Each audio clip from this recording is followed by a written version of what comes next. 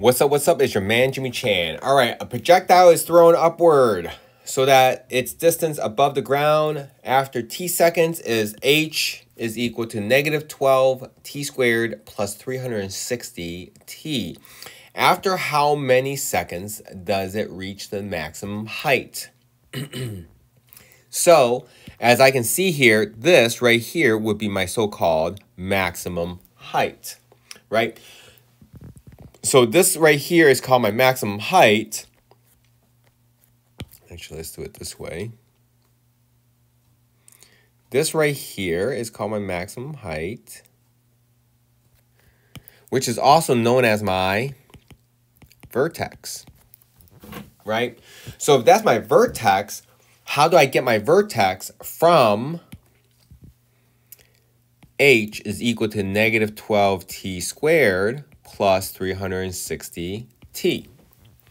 Well, that's easy, right? So first, because this is in standard form, I will have to first find the so-called axis of symmetry. So first I had to find the axis of symmetry, and that's going to be t is equal to negative b over 2a. So negative b would be negative 360 divided by 2 times negative 12. So what does that give me? Let's see here. Mm -mm -mm 360 over 2 times 12 is 24. So that's going to give me a 15. So t is going to equal to 15 which looks about right. I can see the 15 here. Looks like that's about right, that the t is 15. But I'm looking for the height. So in other words, I'm going to look for the height when t is equal to 15. So that's going to be negative 12 times t squared plus 360 times 15. So let's put 15 in there. So let's see what the height is at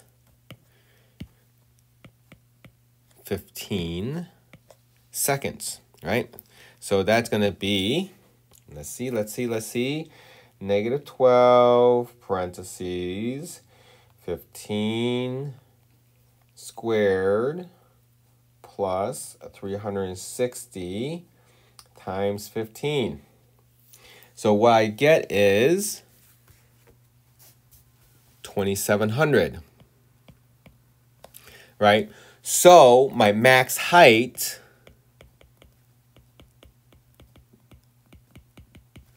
is there and it's going to occur at 15 seconds, which actually the question is asking how many seconds. So after how many seconds does it reach? So I didn't really even need to know what the height was. I just needed the seconds. So that is 15 seconds, so that is going to be choice A. And I hope that helps.